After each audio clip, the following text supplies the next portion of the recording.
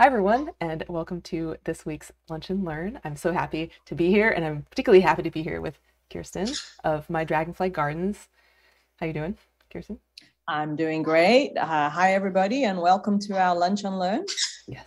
So we filmed this Saturday morning. It was really hot, so um, there's maybe a little Blair Witch Project um, vibe to some of the footage, but I tried to keep it steady, and I hope you enjoy. We worked really hard on this, so without further Yes, ado. enjoy. If anybody has questions, please shoot them to us, and I will be happy to try and answer as much as I can. Yeah, so we'll be right here. I'll be talking to Kirsten during the video. So you put questions in the chat as soon as they come to you or ideas, you know, we're, we'll see them. Well, I'll see them and then me and Kirsten will talk about them. So, all right, starting now. Oh, we have a, a visitor coming to visit. She's laying eggs on the wild lime. Look at that. Ah, cool! And I don't have my phone on me. Of course not. Why would I have my phone on me?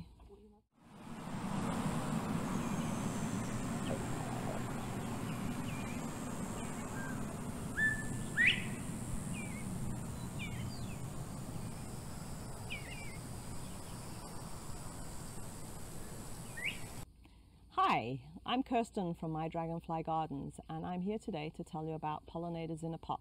It's something that even no matter what size garden you have, whether you have a small garden or a large garden, you can always create a pollinator pot.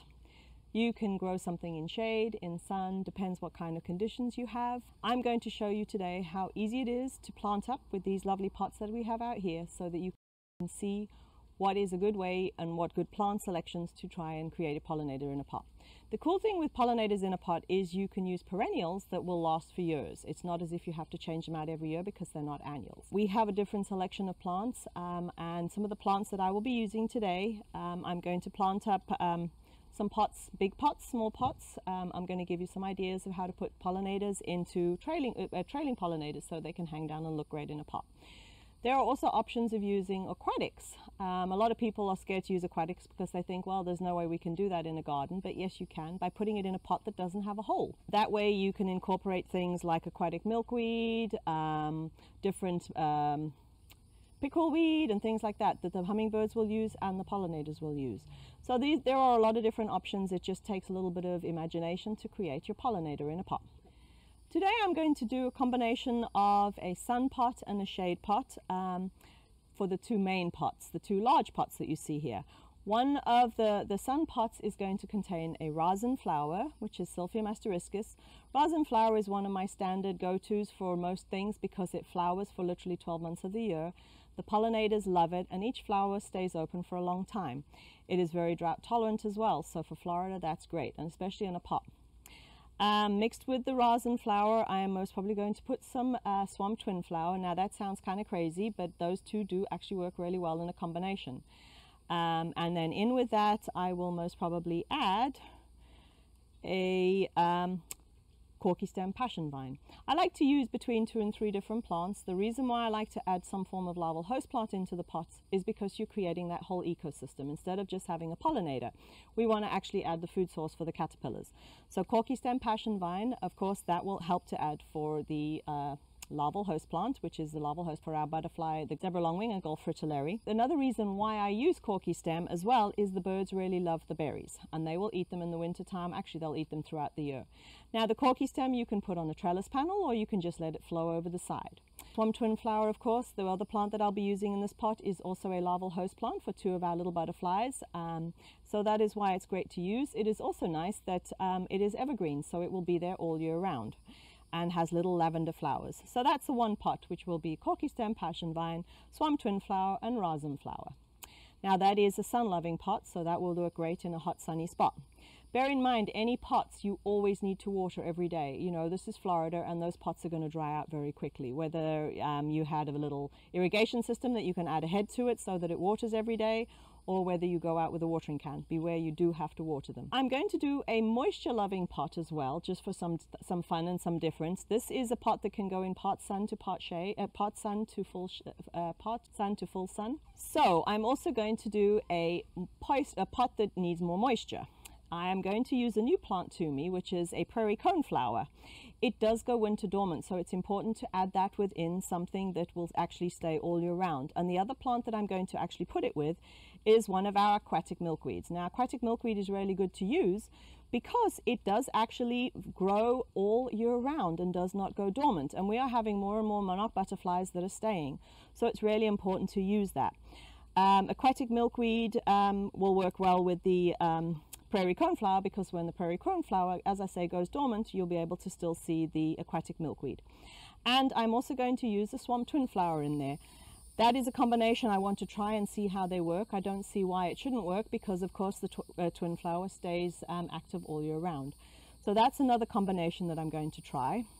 Then I have a frog fruit that I'm going to actually put on its own in this very tall pot to let it just trail over the side. The tall pot um, because uh, frog fruit is a trailing plant, it should look really well having that trailing over the side. Of course, frog fruit does go a little bit more dormant in the winter, so it's good to use it for the summertime. Now, frog fruit again is a larval host plant, so it's really good to have that as well because of that. Um, then the last pot I'm going to do is a combination um, for a shady spot. It is tropical sage and I'm using white tropical sage. Now white tropical sage is wonderful because it flowers on and off throughout the year. It is a great uh, pollinator plant for our hummingbirds, our butterflies. We had a bumblebee here busy checking out a few minutes ago. In with that, I'm going to add a lyre leaf sage and then I'm going to use the last twin flower. So that is a combination that will work fine in sun or shade. There are different plants that will flower at different times. Never be scared to try pollinators uh, and different combinations. If it doesn't work, take it out and try something else. That way, at least you can experiment and see. I like to try things, and what I do if it doesn't work, I just go plant it in the garden somewhere and put something else in its place. I have a rosin flower pot that I've had for four years now. Every year, the rosin flower comes up, flowers, and then come winter time, it goes dormant, and I just have the twin flower around the base of it. And it's been working fine. All right, so now I'm going to show you how to do it and how simple it is. Because I work outside, I do wear gloves. Um, you don't have to. Some people wear, some wear them, some don't. And what I'm going to do is show you my very simple, easy way to do a pot. I always use um, broken pieces of terracotta for the bottom of a pot. The reason why I keep these, it helps to add the drainage.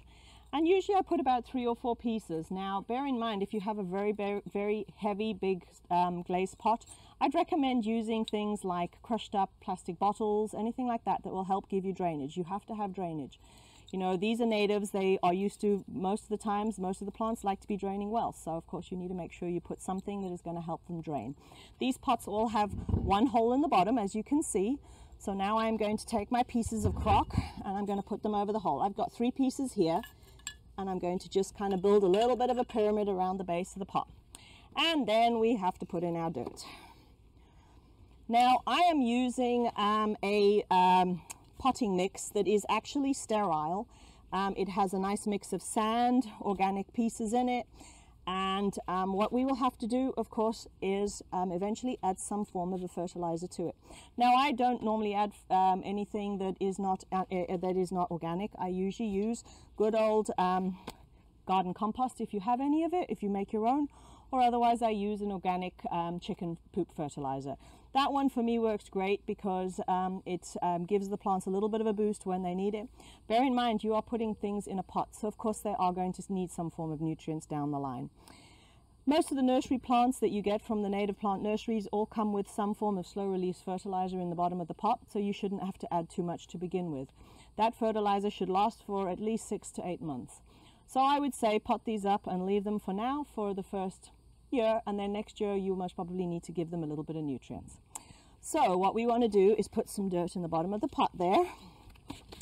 Then I'm going to do, this is our shade pot. So this is the uh, lyre leaf sage. This is a fun plant for me for the shady areas. You find this growing a lot underneath some of our oak trees. It has a very pretty blue flower and as you can see, it is starting to get its new flower. Now the flowers are blue, like a pale blue. Um, and what we do is, of course, when you're trying to get a plant out, you want to take it out of the pot. This one's got a nice bit of root growing already. So what we want to do, this is going to be a medium high one. Oh, and of course, I need to put a little bit more dirt. So that's another thing to make sure you add enough dirt around the bottom of the plants. All right. Now I want to make sure that I leave at least about half an inch or a little bit more below the rim of the pot so that you've got some place to actually water it. That's the first plant there. Then we're going to add a swamp twin flower to the front. The swamp twin flower, as I say, is a larval host plant. So this is our larval host plant for this pot. It has the little lavender flowers um, and it stays green pretty well all year round. Now, as you can see, this one has a little bit more root going on. And we're going to, this, as I said, squeeze the three plants in here. So we want to get that towards the front. That is our trailing plant. Now, because we've got some gap over there, it's a good idea to add some soil down in the front there. We want to make sure we don't leave any air holes. Plants do need a little bit of oxygen, but they don't need that big of a gap. So there we go. And then I'm going to start putting some around the sides here, leaving enough room at the back to add our tropical sage.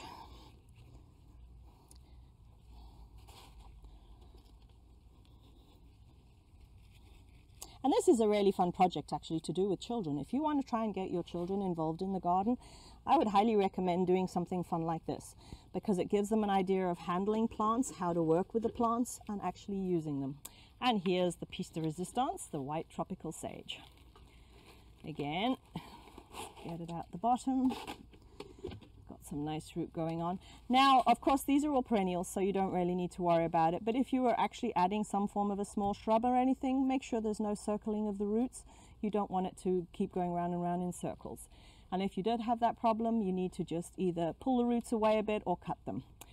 So here we are. Let's put that carefully in the back. And the tropical sage is helping to give us some height in this pot at the moment. Now we just add the potting mix around the base.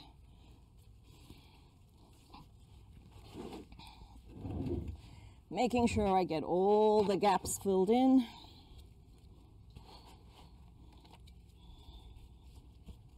Packing it down so we get it nice and tight. you see it's starting to take shape already. Spin it around that way and do this side. And the cool thing with these plants is you will have a lot of flowering pretty well throughout the year. The tropical sage flowers on and off throughout the whole of the summer and it will give you some color in the autumn and the winter. The lyre leaf sage flowers in the spring and in the summertime, uh, sorry, the spring and in the autumn time. And then of course the swamp twin flower flowers pretty well on and off throughout the year. And voila, our first pot. Now, of course, this ground, this potting soil is wet at the moment, but don't forget, you always need to water anything that you're potting up. Give it a nice soaking through and wait, keep watering it till the water runs out the bottom, then you know you've given it a nice soaking. This pot we're going to use for the aquatic mix. Now, of course, because this needs to be kept wet all the time, I would recommend taking a plant saucer underneath and putting a layer of about two inches of gravel in the bottom of the plant saucer. And what you need to do is maintain a moisture level in there so that the plant, the pot does not dry out.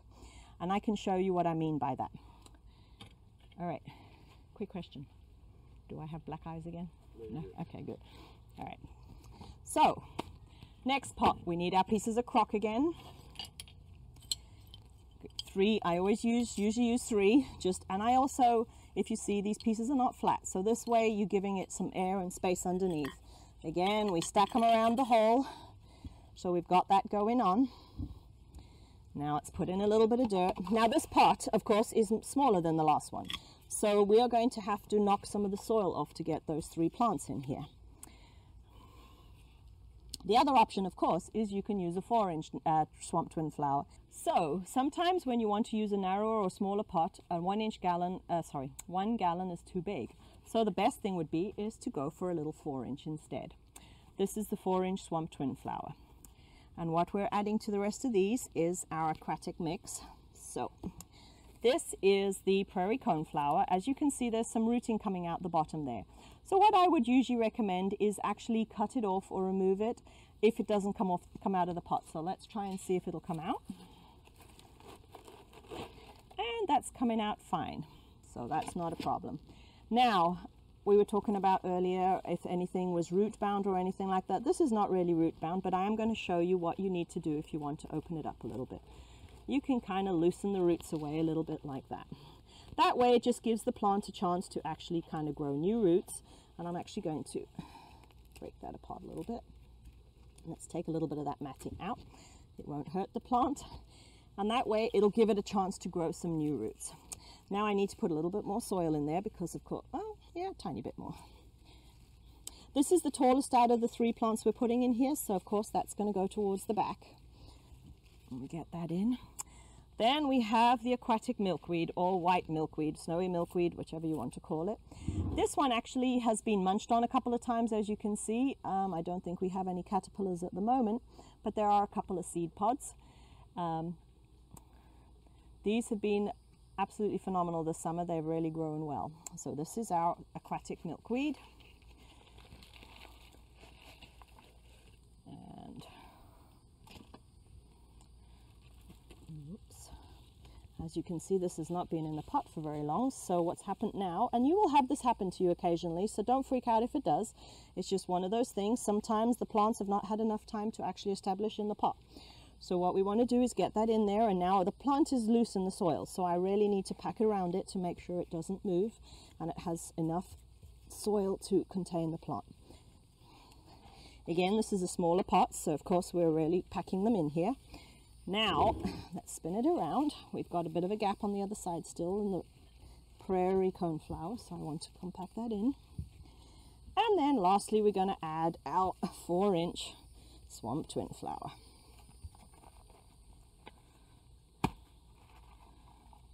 Oh, see, also falling apart. Not to worry though. It's got some nice healthy com growth coming underneath. Again, we're making sure we put soil around them. Now be careful, gentle when you're handling the plants. Of course, you don't want to grab them or pull them too tight because they are, they are fragile and they will break if you don't handle them with some care. All right. Make sure all the soil is compacted around the base. And voila, our moisture or aquatic pond, uh, pot, moist or aquatic pot. That's the second one. The last one we're going to do is the big beast over here.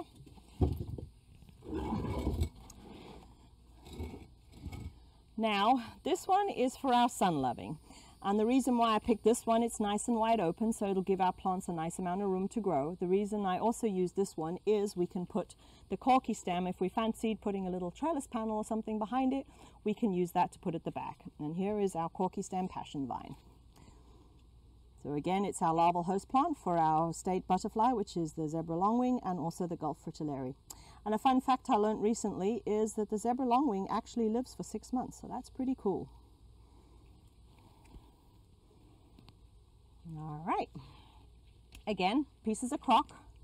Now this one is uh, one that needs to drain well because these plants all like their um, dry feet. So you can also use um, pieces of pebble and things like that at the bottom. Uh, whatever you have on hand, as long as it gives the pot some form of draining. So we're going to put a few, and I'm actually going to build this up a little bit more this time to allow a bit more drainage. Again, potting soil in the bottom.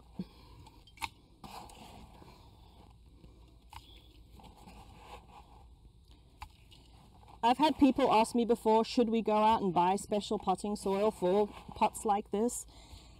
You can use some store-bought soil, but I would recommend adding some sand into it just to kind of, you know, you don't want to give these plants too much more, too much nutrients because they're not used to getting that much nutrient. They usually get the, okay.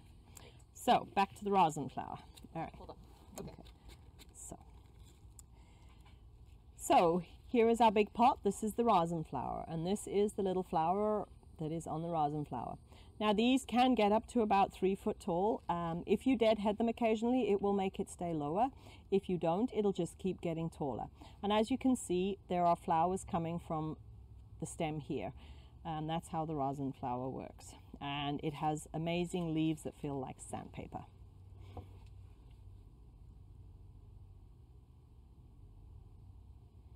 Okay, this is our tallest one, so we're going to put this at the back. If I can get it out. Oh, we have some rooting going on underneath here. So, as you can see, they're not circling, so that's fine to leave those as they are. So what we're going to do with this one is we put this towards the back. I have already put in some potting soil around the base. Now we're going to add two swamp twin flower at the front of this. If you have a bigger pot and you wanted to, you could actually put the rosin flower in the center and actually put three swamp twin flower around the base. Then that way it gives you a height in the center and you can actually put this pot uh, in any area and you'll be able to turn it around and have the central piece being the rosin flower. This I'm planting up to go into a, an area where I can put the back against something so we have the rosin flower at the back. So here is the first swamp twin flower. Again, make sure it's set in and it's always advisable after you've put the first two in, put some dirt in so that it holds them. And this pot is big, so we've got plenty of room.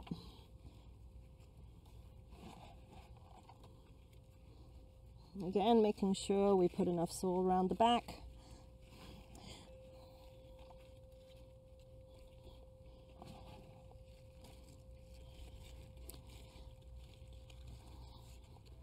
And then we want the last one for the other side. Again, tip it up, get the pot off. And that one's going to go in the other side here. Wiggle it in and full around the spaces. Okay. now we're Now we're going to put our last plant in this pot, which is the corky stem passion vine. Again, I, this pot is big enough to put a piece of trellis in the back if you wanted to. So let's grab that out the pot and put it into our last hole.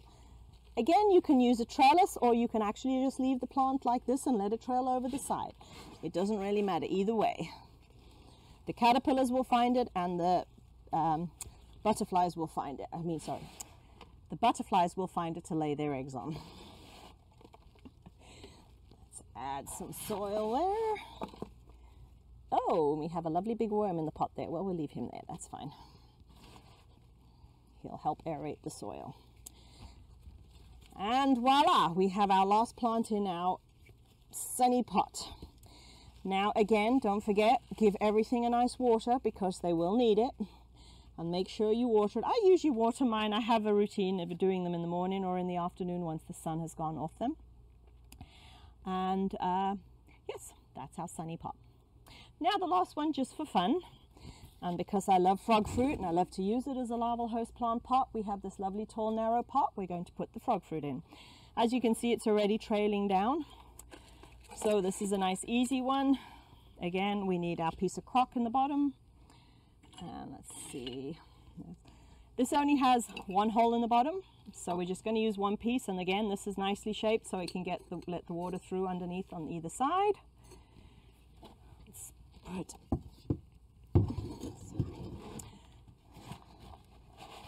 a couple of handfuls of dirt in the bottom.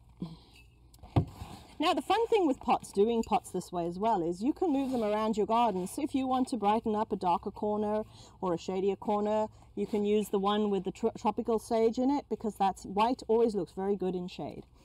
Now we have our dirt in the bottom. Again, grab the plant out the bottom of the pot, gently put it in. And now this one, of course, I need to wiggle a little bit because I had too much dirt. And as you can see, it's already flowering. Frog fruit again is a great plant because it's a larval host plant as well as a nectar source. And it's a great nectar source for some of our small little Florida native bees. Again, we want to firm around the base of it. Make sure there is no gaps.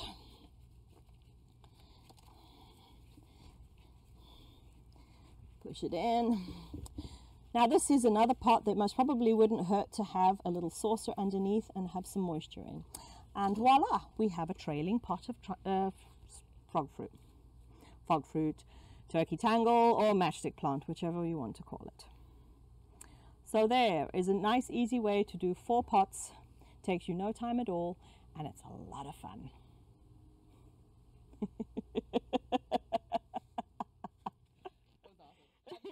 that smile for your, uh, for your cover photo. okay.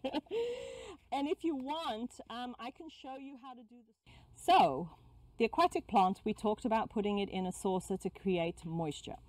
This is just a regular plastic garden saucer that I've had in the garden and it will work fine to add some gravel to to put the aquatic pot in or the moisture loving pot. So we put that down, we take some nice fine pea gravel. What,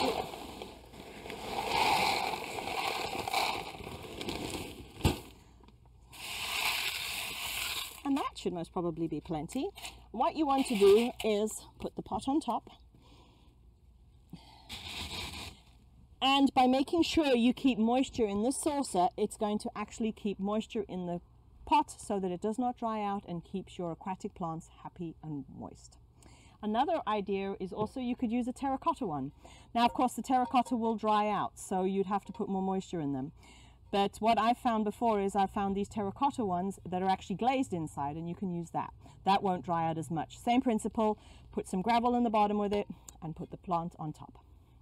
And also don't forget, put water sources out for the birds. It's very hot at the moment, so summertime is a great time.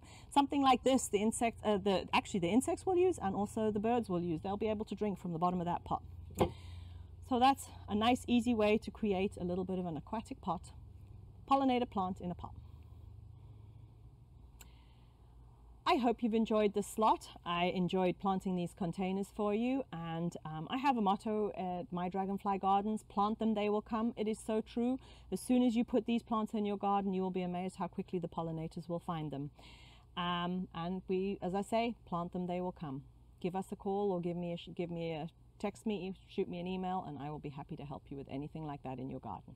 Thank you for watching. Bye.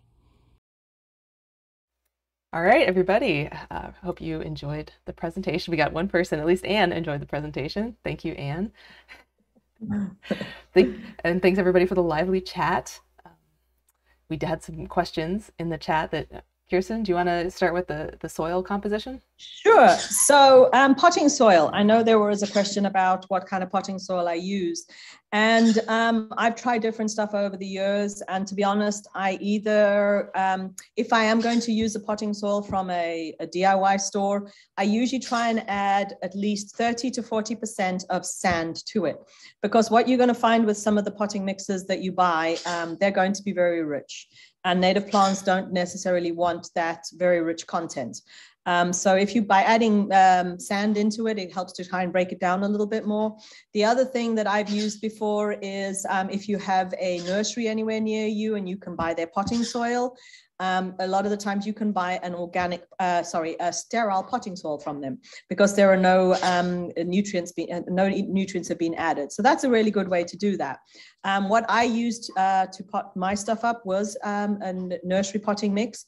I use it, like I say, because it's sterile. It contains pieces of wood chip, pieces of bark, some sand. It's a mixture of things. So that way it will slowly break down and it will feed the native plants. Um, if you're going to be leaving them in pots for, for a while, of course, you will have to add some form of nutrient to them later on down the line. And usually if I do that, you know, I usually add, um, uh, top dress it with an organic um, chicken fertilizer or something like that. So, but that's not something you're going to need to do for um, the first year or so. So hopefully that answers your question. Thank you.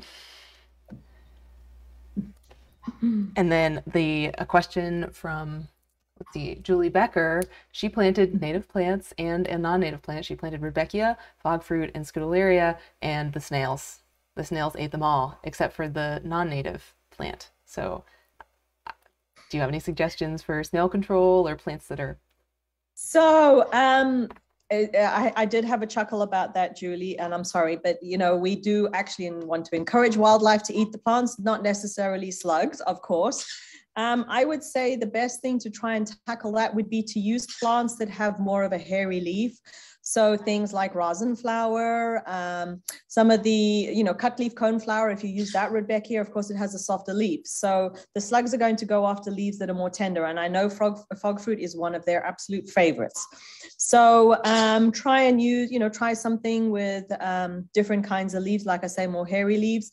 The other options, you know, there are some um, other different ways of controlling slugs. Uh, Valerie and I talked about, um, I don't know whether anybody knows about the beer cap, putting some beer out. Apparently, slugs really like the taste of beer, and then at least it's a humane way, if you want to put it that way, of killing them because they drown in the in the beer. Um, there, in uh, when I lived in Germany, I used to use crushed eggshells um, as well that placed around the outside of the plants. They don't like to walk on the eggshells because it, um, you know, slices them. So depending on where you've got it and how you've got it, that would be the easiest way. But the other way, of course, is um, slugs come out uh, late, late evening, well, evening and early morning. So maybe you can try and see if you can catch them. I know I've never really had much of a problem with slugs. So maybe the pot was just a little too moist or they were very hungry. Hope that helps. Thanks. Just lots of kudos in here. Oh, a question by person named Fight, I, I guess, F-I-T. Uh, what do you use for mosquito control in the wet saucer? Um, I actually haven't really had any problems yet with mosquito control. You know, the way to actually possibly don't let as much water sit in there. Of course, we've had a lot of rain recently, so there will be water in there. Um, if you wanted to, um, you know, uh, we have a lot of frogs here too, and lizards um, and dragonflies. So we, you know, a lot of them take care of that. Um, there are different, let me think, mosquito control. Yeah, depending on how big the saucer is that you use, um, either make sure you put more gravel so there is not a lot of sitting water, um, or otherwise um, put it into, uh, I have a, a, pond here as well, a galvanized stock tank, and I just have my pots in there. And of course, my fish eat all the mosquitoes. So I never have any problems with that. So um, hopefully that answers your question. And uh, we have a question from earlier about um, cutting back stems once they're done flowering and seeding. And so maybe mm -hmm. we mm-hmm. could just talk about, you know, pot maintenance. So maintenance, oh sure, you know, and that is half the problem with these. Uh, all of those pots that I created, they should last for you know a, a good few years because they're all perennials. The, what I would recommend is, you know, obviously, like Valerie says, when you um, tropical sage, let's let's tackle that one first, Salvia coccinea. That one, um, if you deadhead that occasionally, and I mean deadheading by taking out, when you look at the flower spike, you have a central one, and then you have two two shorter spikes that are coming up. If you nip out, and they're square stems, so it's very easy. You nip out the central stem that has finished flowering, that will actually promote more flowering because then the two stems either side of it will come up. Um, all sages are the same. They're all square stems. I think, uh, I would say 90% of them, I think, as far as I know, are all square. And they're very easy to just nip out with your fingers. The lyre leaf sage, which is in the same pot, that would be the same thing. Now, um, uh, the rosin flower, that one takes to being trimmed, you can deadhead it. Um, same thing again, you will find that the center, center uh, flower will flower out and then you can cut it out right at the base where it joins the other stem. I sometimes I deadhead uh, rosin flower, sometimes I don't. It's good to leave some of the seeds to drop, of course, because you want to actually create new plants. So I would recommend that um, deadhead them. Um, you know, leave. My, my rule of thumb is deadhead a third, leave a third on the plant to mature, and then of course leave a third for uh, to fall on the ground. So that kind of you know you are recreating or allowing the plants to regrow. Um, the other stuff you'll find the swamp twin flower, and I've used that in a lot of the pots purely because I know it is a great larval host, uh, sorry, larval host plant, and also a nectar source, and it's a nectar source for our smaller butterflies. Now, swamp twin flower will do fine over the winter, but what you might find is come January, February time, you might want to trim it back so that it refreshes and you have a whole new growth. And it does trail over the sides of the pots really beautifully. So that's another reason why I like it. Um, the swamp twin flower, um, as well of being evergreen, of course, it flowers all the time. So you will always have some form of color on that. And then uh, let me see what else have we got. Of course, the aquatic milkweed. Um, that one is one of our very few native milkweeds that actually, and this is Rodney, sorry, he's come to say hello. um, the aquatic milkweed is one of our very few aquatic uh, or very few natives that actually flowers all, I mean, sorry, is has green leaves all year round. So it's really important because we are getting more and more uh, monarch butterflies that are staying here all year round. So it's great to have that because you will get caterpillars that will be using it all year round. Um, the, let me see, corky stem, of course, that's a larval host plant, and that is one that um, doesn't really need much of anything. Of course, if it dies back, trim the dead part back and it will come back from the ground in the spring. Um, and then let me see, what was the other stuff? I think that's pretty well it. So hopefully that gives you some idea. Oh, one thing I didn't mention about the rosin flower, that is one that will flower pretty well all throughout the year. What you will find the rosin flower when it gets to a point where it is not flowering much on the stem, and it will get to um, anything from three, I've seen some of them at five foot tall, believe it or not, this summer. But if they get tall and they start to get leggy, you might find, or you will find, that there is new growth that comes from the bottom. And when this happens, you go in and you cut that stem and cut it down to the ground as far as you can. Don't leave an inch or two up because it looks untidy. And it also, you know, it just doesn't give the plant a nice amount of time to regrow. Tropical sage will do the same thing. Once it gets to a certain size, it gets leggy and it'll be nice to be able to cut that back too. I usually recommend leaving them until they start to get the new growth coming from the bottom. So hopefully that answers your questions. Yeah, thank you. Uh, and we did have a question earlier about um, disrupting monarch migration mm-hmm. and the, you know, and having green leaves all year round. So we have taken a position, you know, strongly against tropical milkweed as, you know, oh, yes. a disease vector, as an invasive species. Um, so that is Florida Native Plant Society is not good. We're not we're not okay with tropical sage. And the yeah. research on what's happening with the monarch migration and climate change there are recommendations from the Xerces Society to cut back your um, any milkweed during the winter that is, you know, native milkweed during the winter, you know, to not continue the OE cycle. Um, so, I mean, I think is the jury in, the jury's out. Um, just, I mean, planting native is definitely recommended, and maybe we'll see some some stronger guidance come in the future and that would be really good you know because it is a very difficult situation because um, you know all the, bo- uh, the big box stores are all selling the tropical milkweed and they're classing it as a native and it drives me crazy I don't have tropical milkweed. I don't ever plant tropical milkweed. I will not use tropical milkweed. Um, the aquatic milkweed that I have in my pond, uh, and going back to what you're saying, Valerie, about cutting it back, yes, I totally agree with that what you find or what I find with my tropical milkweed in the uh, sorry my uh, swamp uh, aquatic milkweed in the pond, it actually goes through cycles when it totally dies back and then new pieces come up. So um, yes, uh, definitely if you have it in pots, I would say cut it back. It's something that you know we definitely need more guidance, and that's a really important thing because there's so many monarchs around in the wintertime. So what do you do? So yeah. And, you know, I mean, monarch migration is very complicated. When we have some lunch and learns, you can watch Lily did an excellent job in, you know, covering what we do know. And so, mm. you know, to say that we know exactly what's going on is, you know, we'd be filled with hubris to say that. Yes, definitely. Yeah. Um, I think that's all of the questions. Okay. Yes, and so you know we're talking about obviously I am in Kissimmee, Kirsten is in mm-hmm. Minneola, right? You know, the yes, plants are from yeah. So the plants are from Central Florida. I know Central Florida.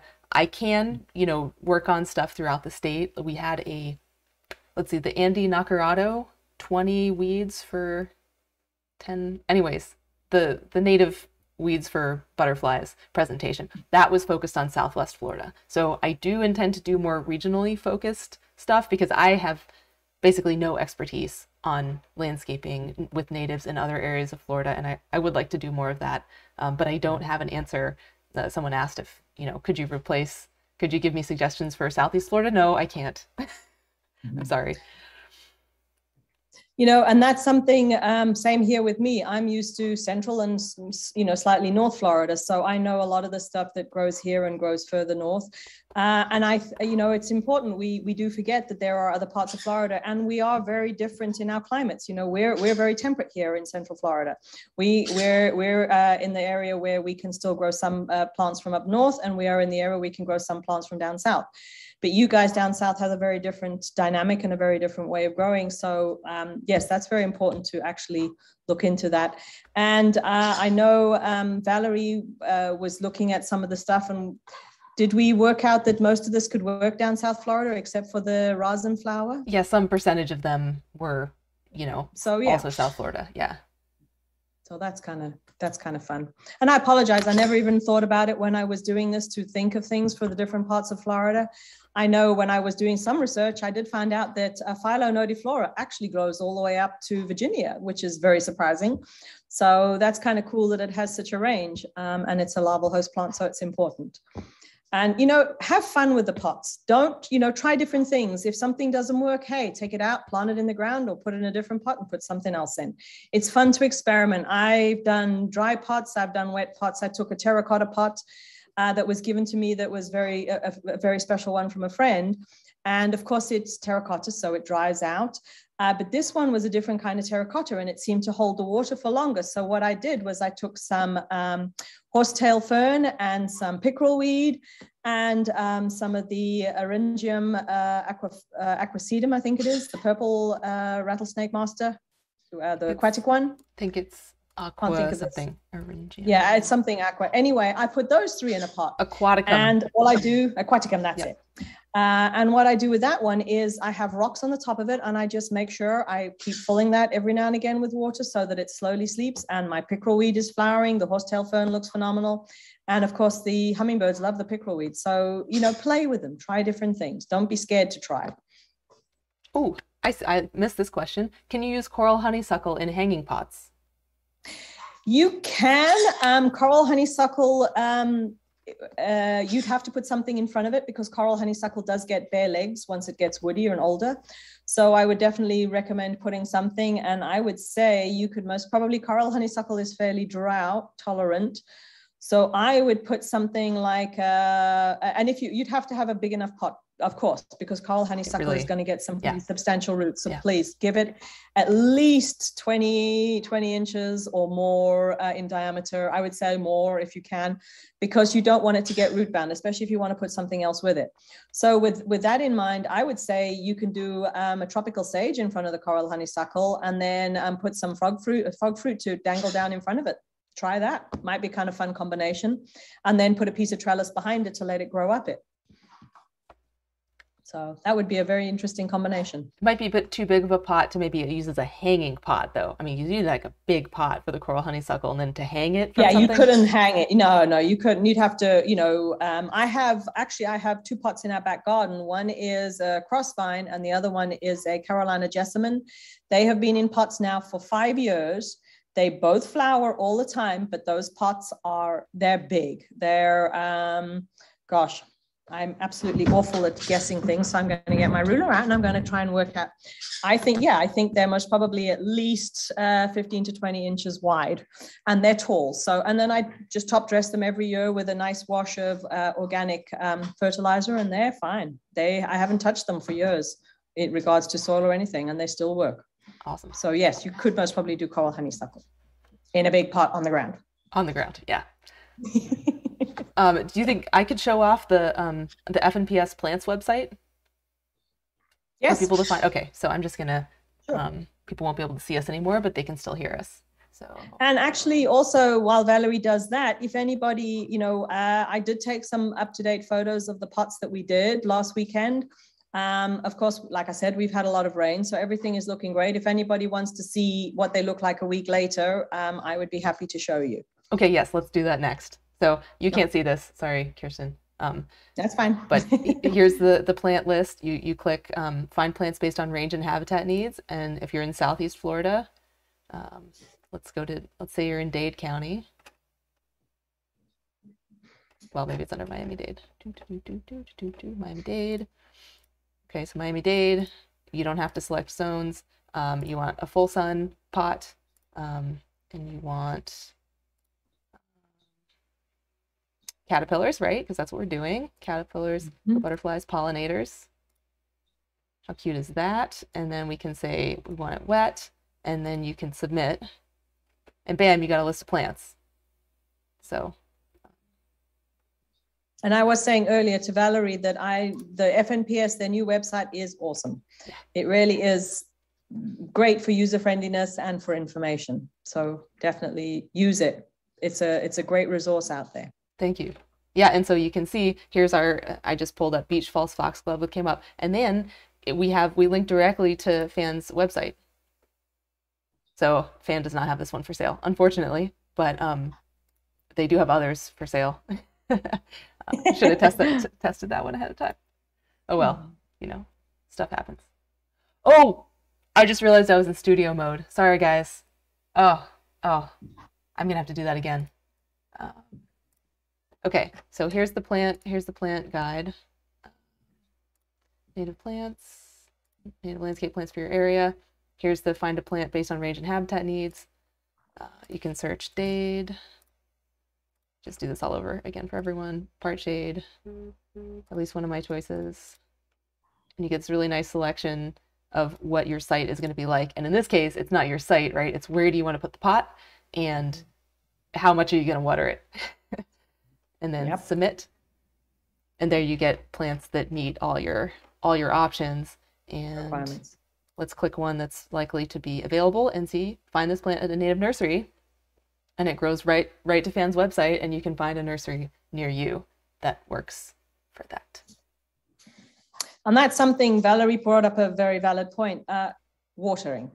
Don't forget, these plants are in pots. They dry out. If you use a nursery potting soil that is for natives, it dries out very quickly. So keep an eye on them. I have to water my pots um, at least once a day, uh, sometimes even, you know, when it's very hot. Uh, just keep an eye on them. Uh, we actually have uh, in our garden here, because we have so many pots, uh, and I keep adding more, we actually have um, an irrigation system that is on a sprayer, and I, I can just put that into the pot to make sure it gets extra if it needs it.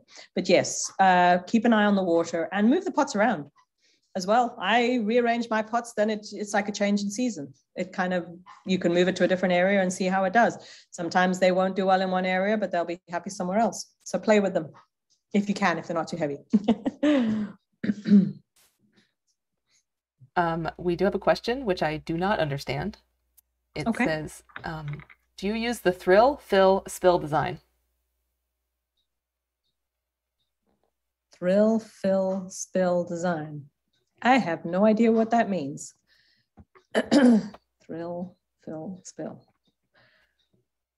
In if if I'm interpreting it, I would say that you mean you put them in there, you leave them for a bit and throw them away. No, these are all perennials. They will keep going for years, so no. But um, yes, can you elaborate? Uh, Yes. whoever asked that question. please question, elaborate p to it Hmm, yeah, interesting. I don't know that one. Um, yes. Oh, Bonnie, our current president, points out something very nice that we actually mm-hmm. have a license plate like that you can put on your car, Yes, Yes. you do.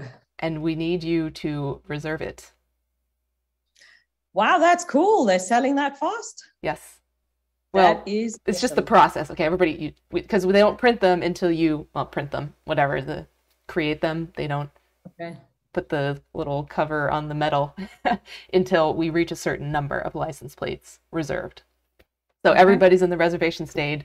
State we need 3,000 of them. So please fnps.org and you'll see the little the little bar there. You can reserve it, and then whenever we hit that mark, hopefully very soon, then you can replace your old grungy license plate with a license plate that supports the Florida Native Plant Society.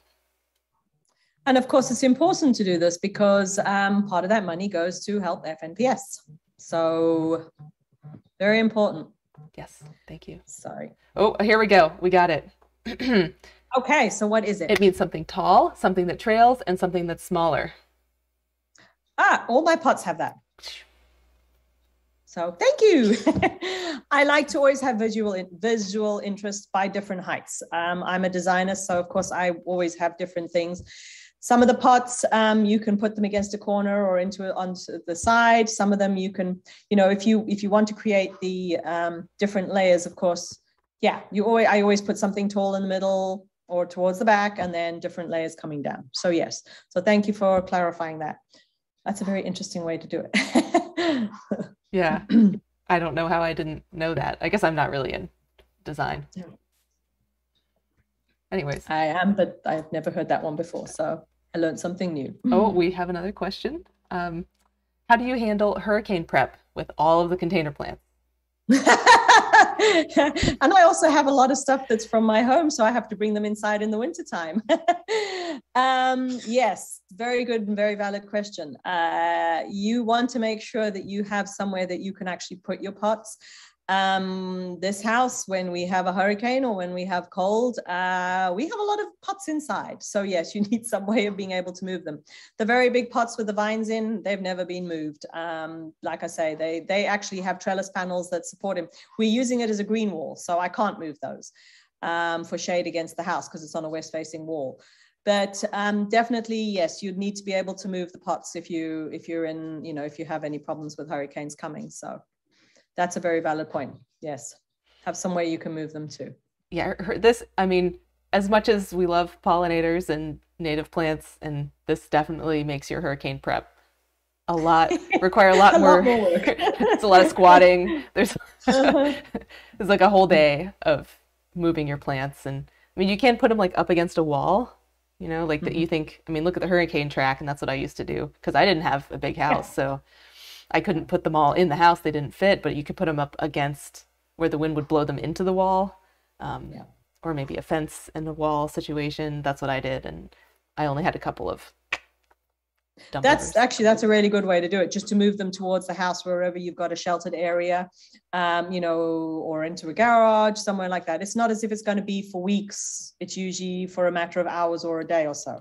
So you could easily do that and then take them back out. Of course, you don't want to keep them inside for days no. because they won't be happy. They can't eat. I mean, they can't eat, they can't breathe. So they need the sun. So yeah. Yeah, this is Definitely. a whole life thing. You are you are creating your life around these native plants in a pot. yes, and you're you their slave. it's very addicting. Mm-hmm. And then there's lizards in your house, you know. yeah, when I bring the orchids in in the wintertime, yeah, we have lizards, and uh, yes, it's fun. oh. uh, Rosie Mulholland uh, suggests that if you're going to move big pots, you can buy an inexpensive furniture scooter thing from Harbor yes. Freight. True. Uh, uh, furniture dolly or something. Like, yeah, we have like one, one, of those, those, things like this. And we have, yep, we have a, a big, um, you know, um, to move uh, other things around. So yes, so there is ways to get around it. So the, the hardest thing actually is finding places to buy pots here. That's what I found. It's really difficult to get inexpensive, um, decent quality pots. So yeah. It's definitely addicting. I have lots and lots and lots of pots. So yes, I know. hmm. Valerie, would you like me to share the photos oh, of the stuff yes, now? please. Let's do that. Okay, so I have to share the screen, correct? Yes. Okay. Oops, hold on. And make sure to press OK. Mm, share. There you go. So this is the um, tropical sage with the lyre leaf. And actually you can see towards the bottom, there is a bloom coming with the lyre leaf sage. Um, they're doing great. I haven't had to do much except water them so far. So that's the one. Um, then here we, oh, sorry, I'm going the wrong way. That's passion vine, if anybody wants to know. Purple passion vine. Uh, then this is the rosin flower one. And actually we have a new bud coming. So that's kind of fun. And the corky stem is doing great. And um, the last one is, oh, I've got another one after this. Of course, that's the frog fruit, fog fruit. And you can see it's already flowering and it seems very happy in there. Um, so that's worked out perfect. And then this is the one that's the aquatic. And actually you could see, um, I have actually got the gravel pretty well, maybe quarter of an inch from the top. You could actually fill it with gravel all the way to the top and then you won't have as much water sitting there.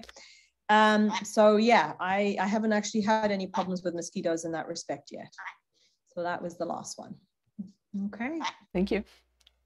You're welcome. Okay, now all I have to do is try and work out how to get back out of this. So there's a red thing? Oh, yes, over there. I got it. Okay, good. Yeah, so I mean, thank you for, you know, taking time out of your weekend to let me film you and getting all the plants and everything. it was my pleasure. And if anybody has any questions or needs any help, uh, as Valerie said, you know, uh, native plants are fun, and um, we want we need people to plant more pollinators and plant more pots like this. If you have literally a balcony, you can do pollinators. You know, it doesn't take a lot of space. So um, give me a shout if you have any questions. Yes, and Thank I I just put your email address in there. Um, do you want me to put like your phone number? Yep, my phone number. I'm always available. Okay, I will type that in there. Um, 906. And people want to know about your bird. That's Mr. Rodney. Uh, he's a sun conure. Uh, he is uh, 16 and a half years old and he thinks he's a person mm-hmm. and he loves to get involved. So, yes. And he enjoys walking around the garden when it's cool and, um, ex- uh, well, actually eating some of the berries from the natives. So, it's kind of fascinating how he knows what he can eat and what he can't, even though he's not from Florida. So, go figure. But yes, he is quite a character. Yeah. So cool. I was doing a presentation for Planting for Birds, and it was a Zoom uh, last year in November uh, for one of the FNPS chapters. And we were talking about birds, and lo and behold, up he comes and he sits on my shoulder. And I think he sat on my shoulder most of the presentation. so it's quite a funny, crazy bird. All right. Yep, lots of kudos in the chat. So I, I really, it seems like people enjoyed it. Worth the effort, I think. Okay, good. it was worth the blood, sweat, and tears to do it. No, I'm joking. Just a lot of sweat. I don't. I didn't bleed. a lot of sweat. A lot of sweat. uh, all right. So um, I hope you have a great weekend, Kirsten. Thank you. You too, Valerie. And I hope to see you soon. And um, have a great weekend, everybody. And uh, keep doing the lunch and learn. It's an awesome thing. Knowledge is key. Yes. Thank you. Okay. Bye.